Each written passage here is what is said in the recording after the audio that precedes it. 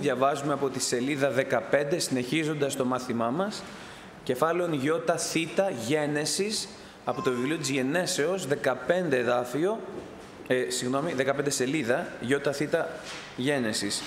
Ήλθον δε οι δύο άγγελοι στα Σόδομα το εσπέρας και κάθιτο ο Λότ παρά την πύλη των Σοδόμων. Ιδών δε ο Λότ εσηκώθη συνάντησεν αυτόν και προσεκίνησεν επί πρόσωπον έως εδάφους.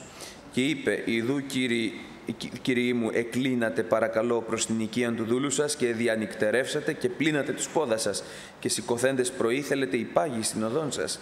Δε είπον ουχή, αλλά εν την πλατεία θέλομεν διανυκτερεύσει. Αφού δε βίασε αυτούς πολύ, εξέκλειναν προς αυτόν και εισήλθον στην οικία αυτού.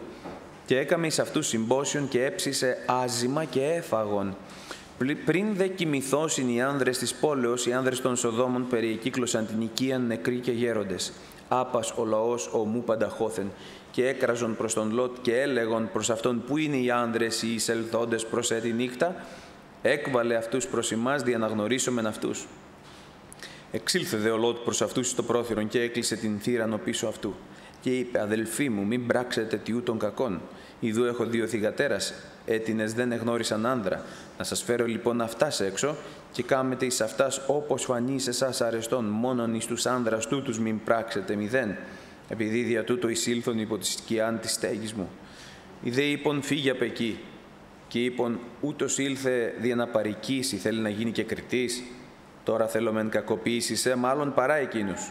Και βίαζον τον άνθρωπο τον Λότ κάθε υπερβολήν και επλησίασαν δια να συντρίψωσιν την θύραν.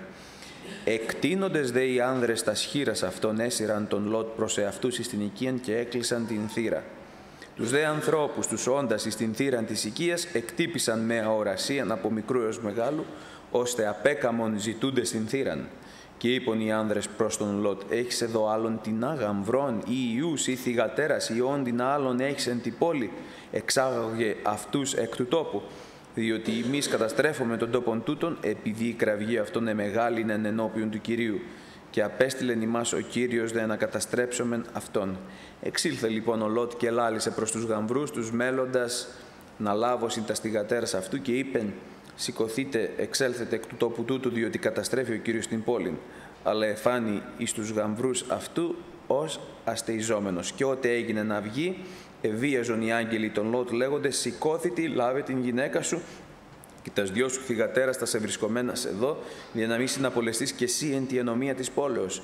Επειδή δε ευράδινεν, οι άνδρες πιάσαντε την χείραν αυτού και την χείραν της γυναικός αυτού και τας σχήρα των δύο θυγατέρων αυτού, διότι εσπλαχνίστη αυτόν ο Κύριος, εξήγαγον αυτόν και έθεσον αυτόν έξω της πόλεως. Και ότε εξήγαγον αυτούς έξω, είπε ο κύριος Διάσωσον την ζωή σου, μην περιβλέψεις ο πίσω σου, μη σταθείς καθόλου την περίχωρον, διασώθητη ει το όρος, δια να μην απολεστείς.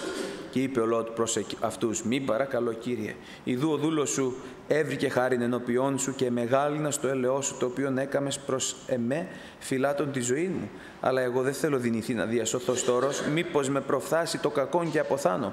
Ιδού παρακαλώ, η πόλη αυτή είναι πλησίον ώστε να καταφύγω εκεί και είναι μικρά. Εκεί παρακαλώ να διασωθώ. Δεν είναι μικρά και θέλει ζήσει η ψυχή μου. Και είπεν προς αυτόν ο Κύριος, «Ιδού επίκουσά σου και στο πράγμα τούτο να μην καταστρέψω την πόλη περί της οποίας ελάλησες, τάχινον διασώθητη εκεί, διότι δεν θέλω δυνηθεί να κάμω ουδέν έως σου φτάσεις εκεί, δια τούτο εκάλεσε το όνομα της πόλεως, Σιγόρ. Αμήν. Αμφιβάλλω βεβαίως αν θα προλάβουμε να το διαβάσουμε όλο, αλλά όσο προλάβουμε με τη χάρη του Κυρίου μας μέχρι τις 9 η ώρα, ότι το Πνεύμα του Κυρίου μας δώσει. Ήλθον δε οι δύο άγγελοι εις τα Σόδομα το εσπέρας, με μια συγκεκριμένη αποστολή από τον Κύριο να καταστρέψουν, να ισοπεδώσουν τα Σόδομα και τα Γόμορα διότι δυστυχώς δεν ευρέθη ούτε ένας άνθρωπος στην πόλη των Σοδόμων και των Γομόρων που να μην έχει διαφθαρεί. Και όπως είδαμε στο προηγούμενο μάθημα, ο, Λότ, ο Αβραάμ, γνωρίζοντας τι πρόκειται να κάνει ο Θεός, γιατί όπως είπαμε, ο Κύριος σε αυτούς που τον ακολουθούν και είναι δούλοι του, δηλαδή το θέλημά τους, το υποτάσσουν στο θέλημα του Θεού, ο Θεός τους φανερώνει τα μέλλοντα. Δεν υπάρχει μεγαλύτερη ευλογία Δεν υπάρχει άλλος τρόπος να πλημμυρίσει η καρδιά του ανθρώπου με σιγουριά, με ασφάλεια και με εφροσύνη, ή όταν ο Θεός φανερώνει στον άνθρωπο το αύριο. Και πράγματι, ο Θεός φανερώνει στον άνθρωπο το αύριο υπό την προϋπόθεση ότι ο άνθρωπος θα στρέψει οφθαλμούς και καρδιά στον Θεό με, με επιθυμία συγκεκριμένη να κάνει ό,τι είναι δυνατόν ο άνθρωπος να απαγκιστρωθεί από τα επίγεια. Γιατί τα επίγεια, η κοσμικότητα, όλη αυτή η αρρωστημένη προσκόλληση στα επίγεια και σε αυτά που ο κόσμος αυτός χαρίζει, λερώνει την ψυχή σε τέτοιο σημείο ώστε να δημιουργείται, ας το πούμε, μία κρούστα πάνω από την ψυχή. Όπως ξέρουμε, η ψυχή βλέπει, ακούει και γεύεται. Γιατί αν θυμάστε, ο Λάζαρος, στην περίπτωση του Λαζάρου, ο πλούσιος λέει μετά την ταφή του, μετά την αναχώρησή του από τον παρόντα κόσμο, λέει ότι οι οφθαλμοί μου βλέπουν τον Αβραάμ μακρόθεν. Βλέπει η ψυχή, βεβαίως βλέπει. Με ποιους οφθαλμούς, του σώματος, όχι βέβαια. Μετά λέει έκραξε προς τον Αβραάμ ο πλούσιος. Μα είναι δυνατόν να φωνάζει η ψυχή, βεβαίως και φωνάζει. Μα εμείς γνωρίζαμε ότι φωνάζει το σώμα. Άλλες, άλλο πράγμα είναι η φωνή του σώματος δια των χωνητικών χορδών και άλλο πράγμα είναι η φωνή της ψυχής την οποία εμείς δεν μπορούμε να την εντελεγήσουμε πώς φωνάζει. Μετά λέμε, λέει, στείλε μου το Λάζαρο να δροσίσει τη γλώσσα μου. Έχουν γλώσσα οι ψυχές; Προφανώς και δεν έχουν γλώσσα οι ψυχές, αλλά το λέει αυτό λόγω του για να καταλάβουμε ότι η ψυχή γεύεται. Γεύεται και τώρα που είναι μέσα στο σώμα, αλλά και μετά την αναχώρηση από το σώμα. Όλες αυτές λοιπόν οι αισθήσεις της ψυχής σκοτεινιάζουν, αδρανοποιούνται όταν ο άνθρωπος επιλέξει να προσκολάται εμπαθός, με πολύ πάθος δηλαδή, στα επίγεια. Ο Αβραάμ όμως άκουσε τη φωνή του Θεού που του λέει «Έξελθε εκ της συγγενείας σου, έξελθε από τη γη σου». Με λίγα λόγια τι του είπε; «Έξελθε από τον τρόπο ζωής σου». Σε προσκαλώ να αλλάξεις τρόπο ζωής. Για να αλλάξεις τρόπο ζωής, οπωσδήποτε σε πρώτη φάση θα πονέσεις. Διότι δεν είναι εύκολο να αφήνεις συγγενείς, να αφήνεις σπίτια και να αφήνεις τα μέρη τα οποία αγάπησες. Παρόλα αυτά όμως ο Αβραάμ κατάλαβε ότι πίσω από αυτή τη φωνή κρύβεται όχι η ευλογία της γης, αλλά η, η ευλογία του ουρανού, του σύμπαντος, η, η απόλυτη ευλογία. Και έκανε αυτή την υπέρβαση και προχώρησε υποτασσόμενος και εμπιστευόμενος στη φωνή του Θεού που του είπε να εξέλθει εις τόπον που δεν εξεύρει. Και πράγματι το αποτέλεσμα αυτής της επιλογής, δηλαδή να αλλάξει ζωή, αυτό μας καλεί ο Θεός σήμερα, να αλλάξουμε τρόπο ζωής, να αλλάξουμε προτεραιότητες, αυτή η συνειδητή και με όλη του την καρδιά στερεάν απόφαση του Αβραάμ τον οδηγεί πλέον να είναι συγκοινωνός και συνεργός του Θεού. Και βλέπουμε τον Θεό να μιλά στον άνθρωπο σαν να είναι ο ίδιος άνθρωπος και να του φανερώνει τι, τα επερχόμενα δεινά και πώς θα τα αποφύγει. Και ο Κύριος θέλει να σου φανερώνει τα επερχόμενα δεινά και τις παγίδες οι οποίες σε περιμένουν αύριο μεθαύριο και πώς θα τις αποφύγεις. Το θέλει αυτό ο Θεός για σένα. Θέλει να έχει μαζί σου μία σχέση τόσο στενά προσωπική και έντονη, ώστε να απευθύνεσαι σε Αυτόν και Εκείνος να σε κατευθύνει. Αυτό κάνει ο Θεός σε εκείνους που Τον ακολουθούν. Δεν είναι ένας Θεός τον μη, μη τούτο, μη κίνο, μη το άλλο, αλλά η επαφή που έχει ο άνθρωπος με τον Θεό τον οδηγεί να μη θέλει πλέον να κάνει το ένα ή το άλλο. Όταν κάποιος είναι ερωτευμένος, δεν ασχολείται με καμία άλλη κοπέλα. Γιατί σου λέει αυτή είναι η γυναίκα της ζωής μου, αυτή θα παντρευτώ.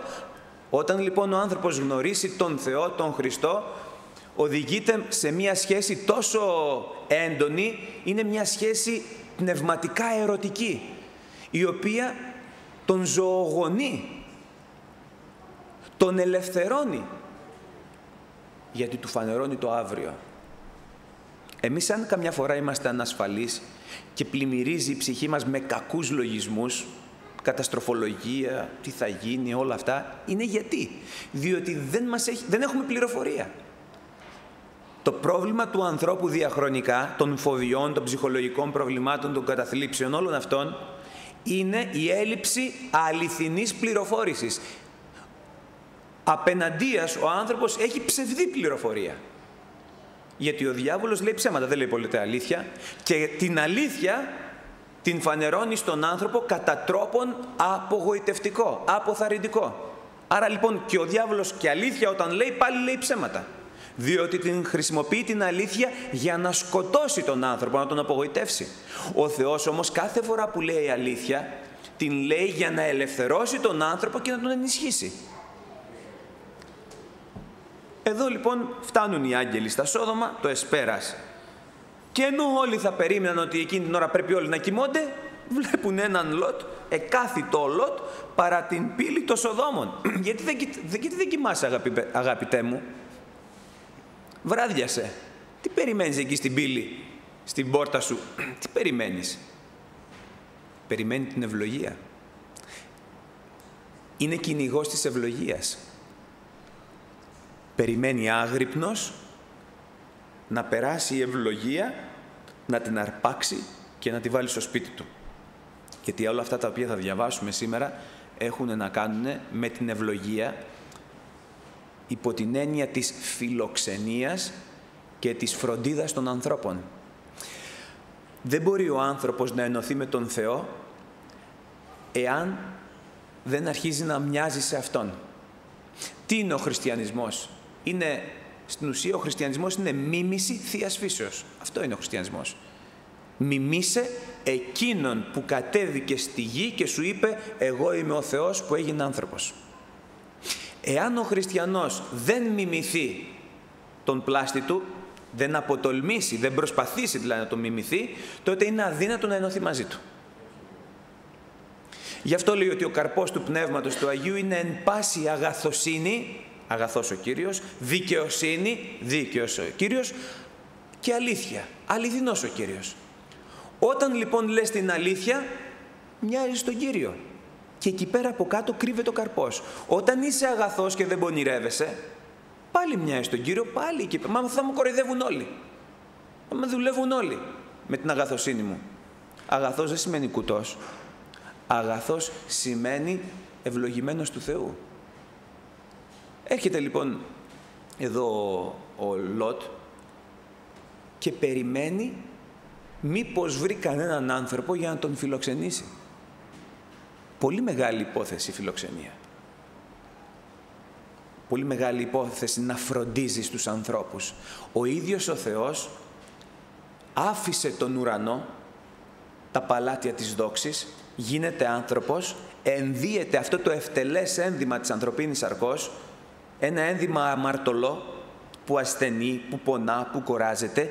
Γιατί; Γιατί έπρεπε με αυτόν τον τρόπο να εκφράσει την αγάπη του προς τον άνθρωπο. Για να εκφράσει κάποιος την αγάπη του προς κάποιον άλλον πρέπει να κινηθεί προς την κατεύθυνσή του. Πέραν από κάθε εγωισμό, πέραν από κάθε φιλαυτία, πέραν από κάθε αυταρέσκεια. Αν δεν εξέλθει προς τη συνάντηση του άλλου, εάν περιμένει πότε ο άλλος θα τον επισκεφθεί, αυτό δεν λέγεται αγάπη, αυτό είναι κάτι άλλο. Ο Θεός δεν περίμενε τον αμαρτωλό να έρθει προς Αυτόν, αλλά εκείνος κινήθηκε προς τον αμαρτωλό. Και έτσι φανερώθηκε η αγάπη με έναν τρόπο εκστατικό, δηλαδή βγήκε ο Θεός έξω από τον εαυτό του, χωρίς να αφήσει τη θεότητό του, παρόλα αυτά όμως έγινε άνθρωπος. Δηλαδή έγινε κάτι άλλο από αυτό που είναι. Το ίδιο λέει και ο Απόστολος Παύλος. Μετά τους Ιουδαίους έγινε ως Ιουδαίος. Μετά των ανώμων έγινε ως άνομος, μείον άνομος, Βεβαίως εις των Θεών, ένομος εις των Χριστών. Εις πάντας έγινα τα πάντα για να κερδίσω παντή τρόπο τεινάς. Βεβαίως δεν υιοθέτησα ψεύτικες διδασκαλίες, ούτε τους είπα ψέματα, αλλά προσπάθησα να κινηθώ προς το μέρος τους. Αυτή είναι η αγάπη του, έτσι εκδηλώνεται. Ο Λότ εδώ πέρα βλέπουμε ότι εκάθετο παρά την πύλη των Σοδόμων, ειδών δε ο Λότ τους δύο να έρχονται να, να περπατάνε μάλλον, εσηκώθη η συνάντηση αυτών. Εκείνος έσπευσε. Και γιατί δεν είπε, άμα θέλουν και είναι κουρασμένοι, ας έρθουν προς το μέρος μου. Εγώ άμα έρθουν αδελφέ, φιλανθρώπος φερόμενος, θα τους φιλοξενήσω. Αλλά εσηκώθη εκείνος και πήγε προς την... Άμα αδελφέ ο Κύριος τους οδηγήσει, θα έρθουν και εγώ θα τους πω ότι ο Κύριος μας, μας τους φέρνει. Βλέπουμε όμως ότι δεν λειτουργεί έτσι. Αλλά λέει εσηκώθη η συνάντηση αυτών και προσεκίνησε επιπρόσωπον έως εδάφους. Γιατί τους προσκύνησε; Μήπως ήξερε ότι είναι άγγελοι; Όχι βέβαια, δεν ήξερε ότι είναι άγγελοι. Γι' αυτό το μαρτυρεί ο Απόστολος Παύλος. Ότι την λέει εφιλοξένησαν αγγέλους μη γνωρίζοντας ότι είναι άγγελοι. Και τότε γιατί τους προσκυνά; Γιατί έχει καταλάβει πάρα πολύ καλά ότι του στέλνει ο Θεός για να τον ευλογήσει. Του στέλνει ο Θεός για να τους φιλοξενήσει, για να τους ξεκουράσει, για να τους αναπαύσει, έτσι ώστε ο Θεός να τον αναπαύσει εκείνον. Και αυτή είναι μια πνευματική, ένας πνευματικός νόμος διαχρονικός από την Παλαιά στην Καινή Διαθήκη. Όταν ένας άνθρωπος επιθυμεί να ξεκουράσει κάποιον άλλον, θα τον ξεκουράσει ο Θεός. Όταν επιθυμεί να βοηθήσει κάποιον άλλον, θα τον βοηθήσει ο Θεός. Γι' αυτό λέει δίδεται και θέλει σας δοθεί. Αν βοηθάς κάποιον άνθρωπο γιατί προσδοκάς ότι εκείνος ο άνθρωπος θα σε βοηθήσει, θα απογοητευτείς, διότι σπανίως οι άνθρωποι ανταποδίδουν τη βοήθεια. Όχι ποτέ, αλλά σπανίως. Πολύ δύσκολα.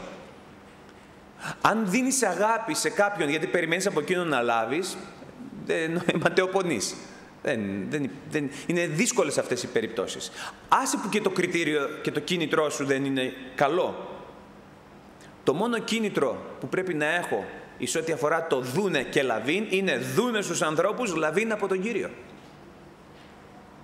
Και ο Λότ αυτό το έχει καταλάβει και γενικότερα όλοι οι άνθρωποι του Θεού αυτό έχουν καταλάβει. Γι' αυτό και δεν απογοητεύθηκαν και δεν έκαναν πίσω από ανθρώπινες συφορές. Είτε αυτό έχει να κάνει με περιφρόνηση, είτε έχει να κάνει με εξουθένηση ή με συκοφαντία ή με αχαριστία.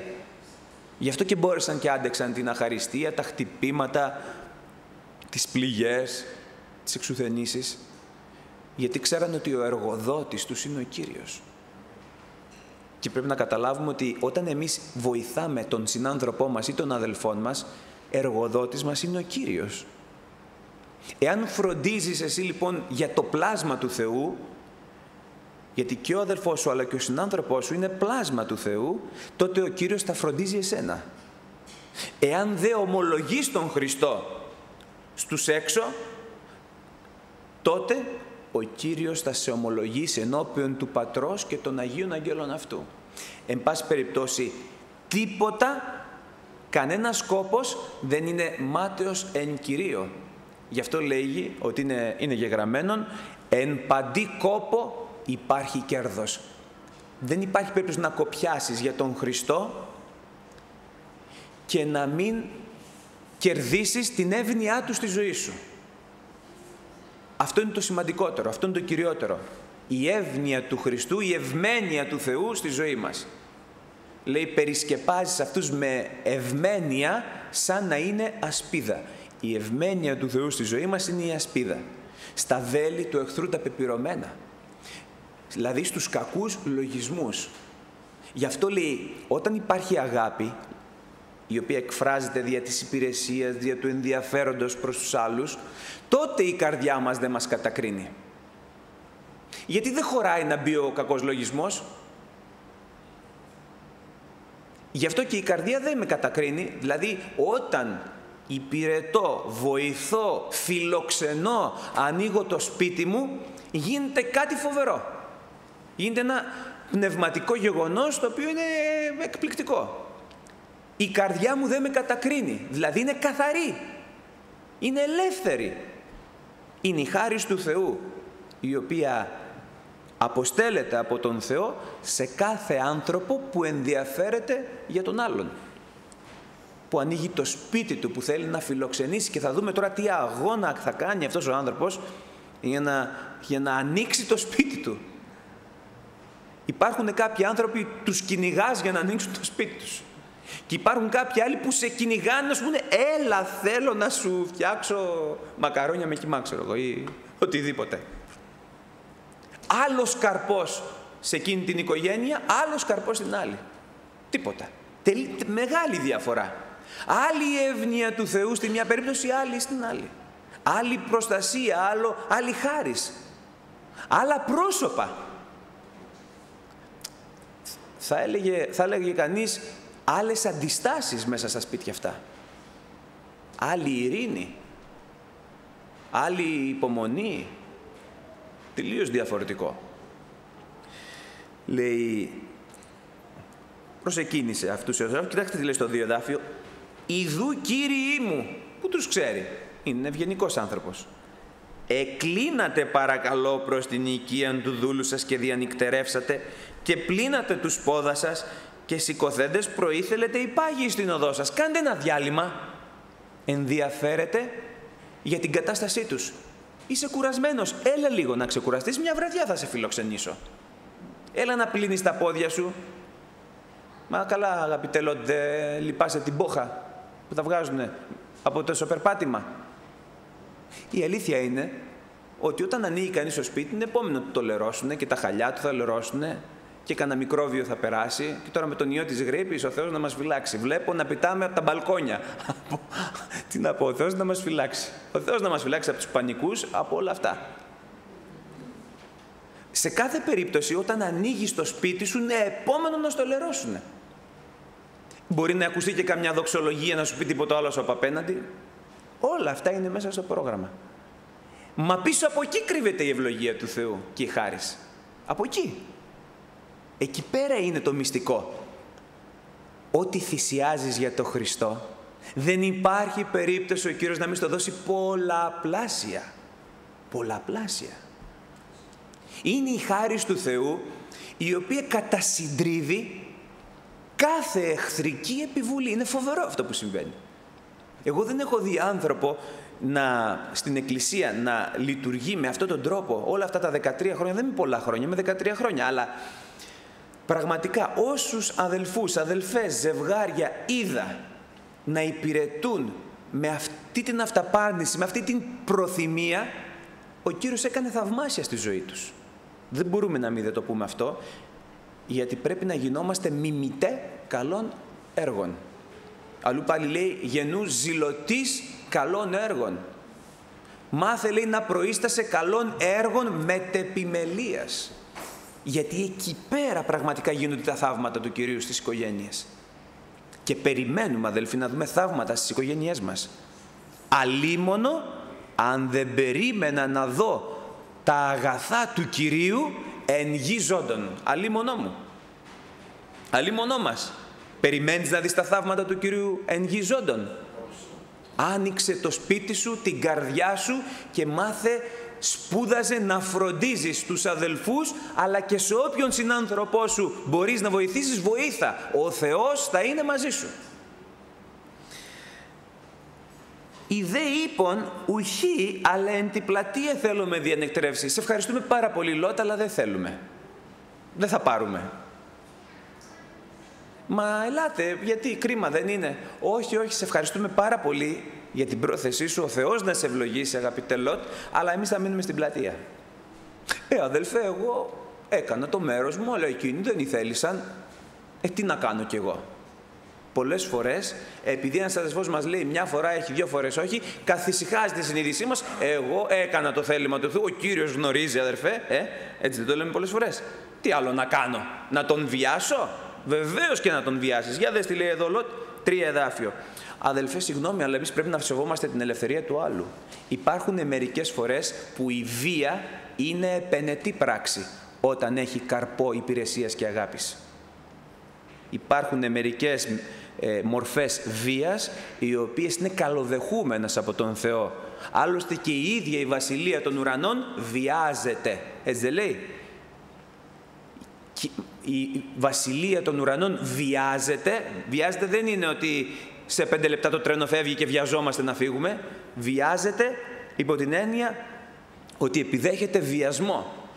Και οι βιαστές αρπάζουσιν αυτοί.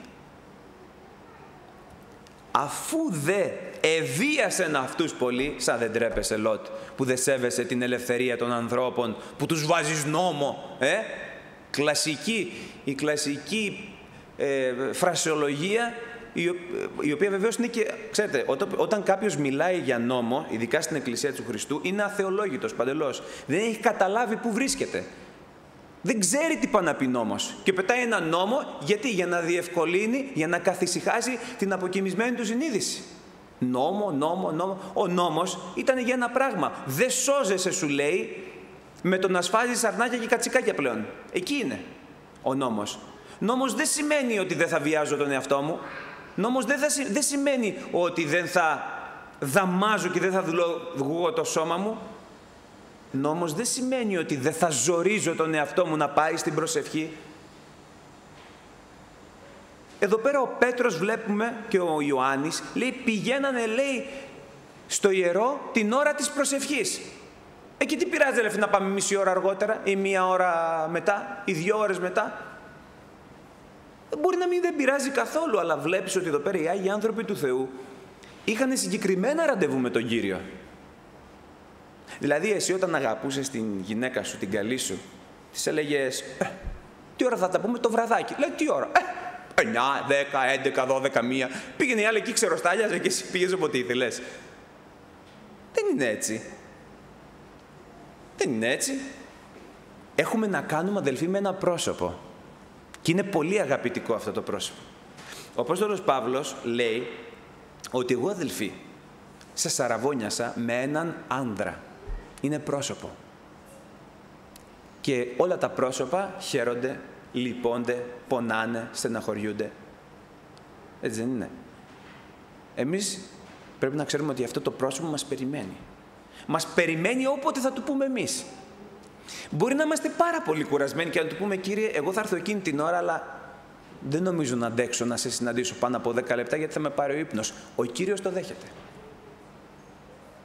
Μόνο και μόνο που τον έχεις στο μυαλό σου, που τον έχεις στην καρδιά σου και του λες «Κύριε, εγώ θα είμαι το βραδάκι εκεί πέρα κοντά σου ή το πρωί που θα ξυπνήσω», ο Κύριος το δέχεται. Και ας μην μπορείς να γονατίσεις μια και δύο ώρες. Το δέχεται δέχεται την επιμέλεια. Αρέσκεται ο Κύριος στην επιμέλεια, στη σταθερότητα. Δεν μπορεί να είσαι χήμα. Μπορεί να είσαι αδύναμος. Μπορεί να σε παίρνει ο ύπνος. Μπορεί να είσαι κουρασμένος, κουρασμένη, ταλαιπωρημένος. Αλλά την επιμέλεια και τη σταθερότητά σου, έστω και αν αυτή εκφράζεται μόνο για πέντε λεπτά, ο Κύριος τη δέχεται. Γι' αυτό λέει ότι η χείρ του επιμελούς θέλει πλουτίσει. Και γιατί δεν λέει η χείρ του χήμα ή η χείρ εκείνου που η χάρη του Θεού αδελφέ και εγώ τι κατάφερα, τα κατάφερα με τη χάρη και όλη αυτή η παραμυθολογία, δηλαδή απορώ πώς τα λέμε αυτά τα πράγματα ώρες ώρες. Πώς τα λέμε. Η χείρ του επιμελούς θέλει πλουτίζει. Τι θα πλουτίζει από δολάρια; Όχι. Αλλά τι. Από τη χάρη του Θεού. Από τη... Γι' αυτό λέει ελπίς αναβαλουμένη ατονίζει την καρδία το δε ποθούμενον όταν έλθει, που θα έρθει, είναι ως το ιατρικόν, ως δέντρον ζωής. Δόξα στο Θεό. Συν, ε, όχι, ναι, πήγα να διαβάσω εγώ από το ΚΑΠΑ κεφάλαιο. Εβίασαν λοιπόν αυτούς και εξέκλειναν προς Αυτόν και εισήλθον στην οικίαν αυτού. Το θέλανε πάρα πολύ αλλά τον δοκιμάσανε. Μας δοκιμάζει πολλές φορές ο Θεός μέσα από την άρνηση του αδελφού μας. Αλλά εκεί είναι, θα επιμείνω.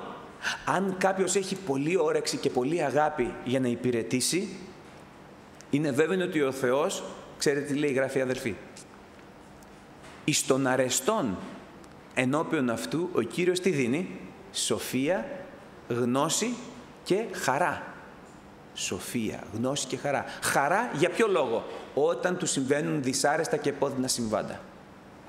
Σοφία πότε, όταν, όταν αποκρίνεται κατά τον τρόπο που πρέπει, κατά την περίπτωση και περίσταση που πρέπει. Και γνώση, γνώση να ξέρει ποιο είναι το θέλημα του Θεού σε κάθε περίπτωση. Αν κάποιος έχει σοφία, γνώση και χαρά, είναι πλήρης. Αυτή είναι η εύνοια του Θεού. Εις τον αρεστόν ενώπιον αυτού ο Κύριος το κάνει αυτό. Και ποιος είναι ο αρεστός ενώπιον του αυτού; Εκείνος που αγωνίζεται να αγαπήσει εμπράκτος. Εμείς ήρθαμε εδώ στη γη αγαπητοί αδελφοί για να αγαπήσουμε. Ε, το πρόβλημα του ανθρώπου διαχρονικά από την αρχή της δημιουργίας του μέχρι και τώρα είναι ότι είναι άρρωστος. Άρρωστος σημαίνει δεν μπορεί να αγαπήσει. Αυτός που δεν μπορεί να αγαπήσει είναι άρρωστος. Γιατί ο άνθρωπος επλάστη για να αγαπά και τον πλάστη και την δημιουργία. Γιατί τη δημιουργία; Γιατί την έπλασε ο πλάστης. Δεν αγαπά τη δημιουργία σαν δημιουργία επειδή είναι δημιουργία, αλλά αγαπά τη δημιουργία γιατί είναι του πλάστη. Και αγαπά τον πλάστη γιατί είναι ο πλάστης και ο δημιουργός. Εβίασαν λοιπόν αυτούς. Εξέκλειναν τελικά προς αυτόν, εισήλθον εις την οικίαν αυτού και έκαμε εις αυτούς συμπόσιον και έψησε άζημα και έφαγον. Άζημα. Άντε τα καταφέραμε, τον πείσαμε τον αληθό, ήλθε στο σπίτι. Τι θα του δώσουμε να φάει; Ένζημα ή άζημα; Μην εορτάζετε, λέει, με ζύμη κακίας και πονηρίας, αλλά εορτάζετε με άζημα ειλικρινίας και αληθείας. Γι' αυτό λοιπόν όταν καλούμε στο σπίτι μας, όταν ανοίγουμε το σπίτι μας και υπηρετούμε, θα κοιτάζουμε να μεταφέρουμε στα αδέλφια μας άζημα, δηλαδή τροφή προς οικοδομήν. Δεν εννοώ την υλική τροφή, και αυτή θα τη δώσουμε βεβαίως. Αλλά θα κοιτάξουμε να λέμε πράγματα που οικοδομούν. Ο λόγος σας να είναι ηρτημένος με άλλας, όχι κουτσομπολιά, όχι σχόλια, όχι τι κάνει ο ένας ή ο δίνα αδελφός, όχι αυτά. Δεν θα μπορέσεις να εορτάσεις. Δηλαδή δεν θα μπορέσεις να χαρείς. Γι' αυτό λέει στο βιβλίο των παροιμιών «Μακάριος ο άνθρωπος που φυλάτει το στόμα αυτού, διότι φυλάτοντας το στόμα αυτού, φυλάει και την ψυχή του από στενοχωριών». Εγώ πάντως από προσωπική εμπειρία σας λέω ότι τις μεγαλύτερες στενοχωρίες μου τις έχω περάσει ε, από πράγματα που έχω πει. Ή που ήταν λάθος, ή που ήταν σωστά και τα είπα σε λάθος στιγμή. Γι' αυτό λοιπόν ο λόγος σας λέει να είναι ηρτημένος με άλλας. Λόγος που τον αδελφό μου, την αδελφή μου θα τον οικοδομήσουν. Και οι λόγοι που οικοδομούν είναι τι έκανε ο Χριστός στη ζωή μου. Ή κάποιο εδάφιο παρηγορίας στον αδελφό που είναι θλιμμένος. Θυμάστε τι λέει στον προφήτη Ισαΐα. Εάν εσύ ευχαριστείς την τεθλιμμένη ψυχή, τότε το φως σου θα λάμπει μέσα στο σκοτάδι. Και ο Κύριος θα σε οδηγεί πάντοτε. Είδες πώς έρχεται η οδηγία του Θεού. Η απάντηση στα ερωτήματα, στα διλήμματα. Ευχαριστώ εγώ σαν τρόπο ζωής. Ευχαριστώ, ε. Ευχαριστώ εγώ την τεθλιμμένη ψυχή και μέσα σε αυτόν τον αγώνα, σε αυτή την σταθερή μου πορεία, έρχεται ο Θεός ανύποπτα εκεί που δεν το περιμένω και με οδηγεί εκεί που θέλει. Βλέπεις πόσο πολύ είναι συνδεδεμένη η επέμβαση και η ενέργεια του Θεού στη ζωή σου όταν εσύ ενδιαφέρεσαι για τους άλλους. Πριν δε κοιμηθώσουν οι άνδρες της πόλεως, οι άνδρες των Σοδόμων περιεκύκλωσαν την οικία νέοι και γέροντες, άπας, άπας ο λαός ομού πανταχώθεν, νέοι και γέροι, όλοι δηλαδή. Όλοι ήταν διαστραμμένοι. Όλοι είχαν διαφθαρεί. Και έκραζον προς τον Λότ και έλεγον προς αυτόν, «Πού είναι οι άνδρες οι εισελθόντες προς ε, τη νύκτα, έκβαλε αυτούς προς εμάς, διαναγνωρίσουμε αυτούς». Το διαναγνωρίζουμε αυτούς καταλαβαίνουμε τι σημαίνει. Να ασελγίσουμε πάνω τους. Όλη η πόλη τι πάθανε, τι έξαψη πυρός είναι αυτή στη σάρκα που μάθανε ότι δύο άνθρωποι ήρθανε και όλη η πόλη πήγε να τους φορτωθεί; Ορίω το διάβολος. Είναι αλήθεια. Το θέμα είναι, καλά, αυτός άνοιξε το σπίτι του για να γίνει ευλογία. Και τώρα ξεσηκώνεται αυτό το κύμα.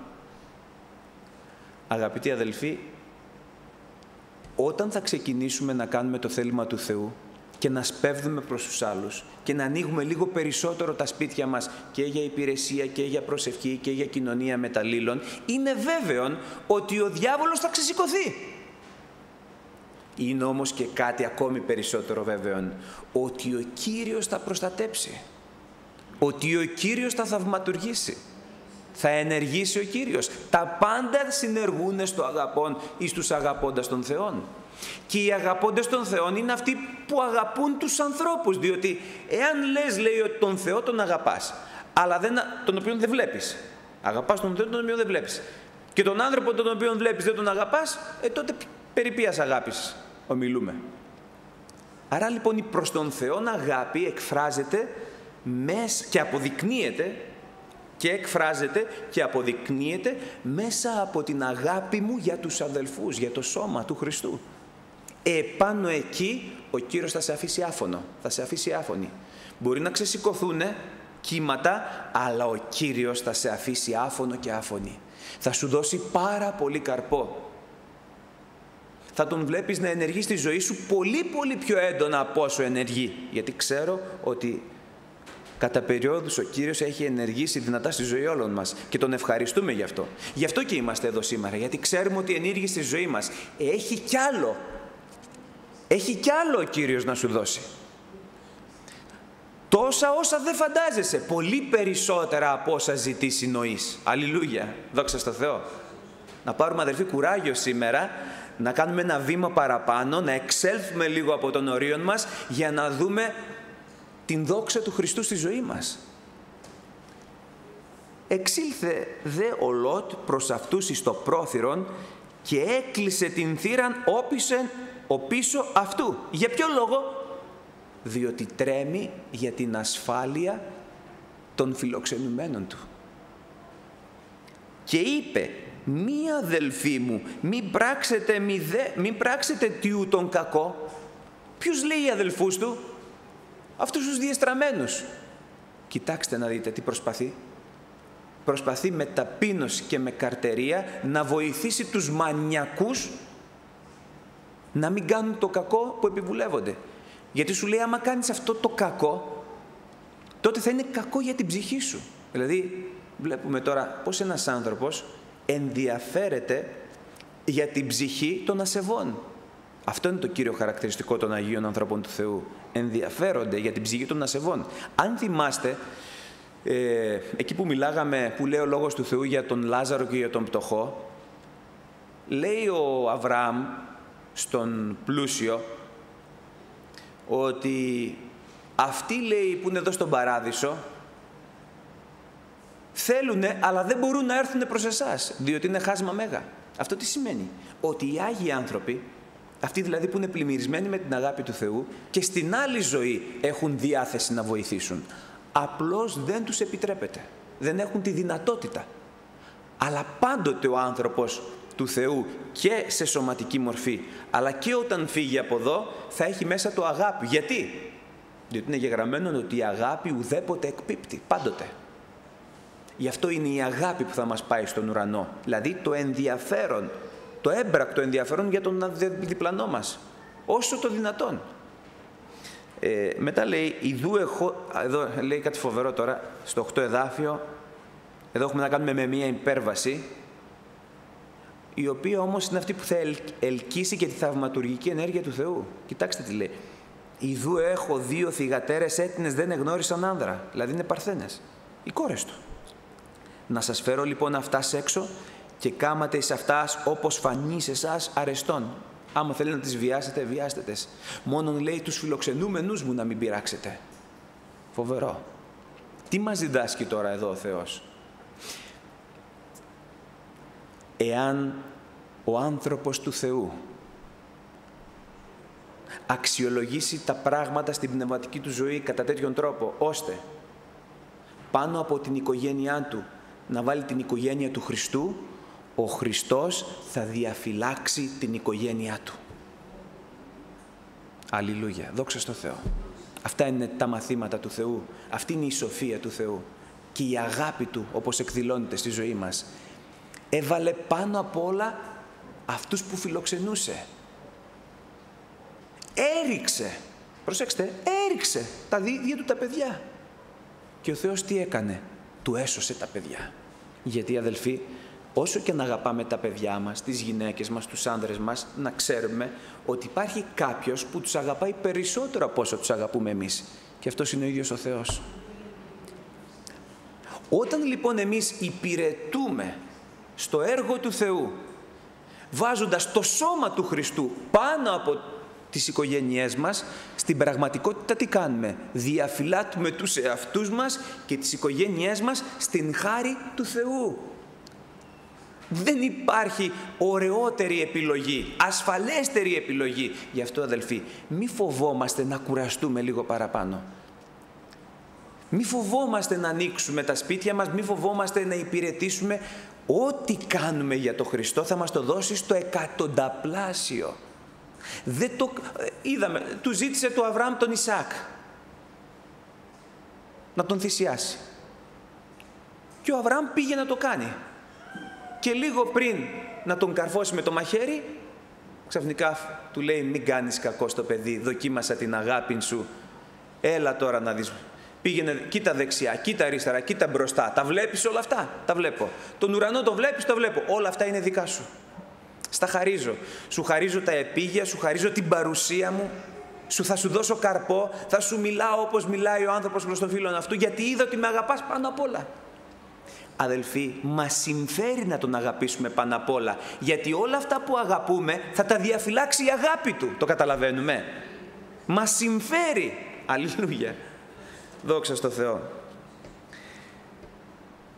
Ο ΔΕΗ, μάλλον επειδή πήγε 9 η ώρα, σταματήσουμε εδώ με τη χάρη του Κυρίου μας για να μην το τραβήξουμε παραπάνω και την άλλη φορά αν μας αξιώσει ο Θεός. Αμήν.